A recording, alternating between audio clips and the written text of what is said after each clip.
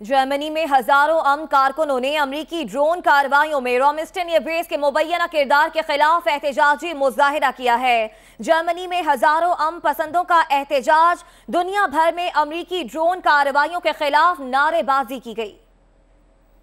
جرمنی میں ہزاروں امن کارکنوں نے امریکن ڈرون کاروائیوں میں رمسٹن ایئر بیس کے مبینہ کردار کے خلاف احتجاجی مظاہرہ کیا۔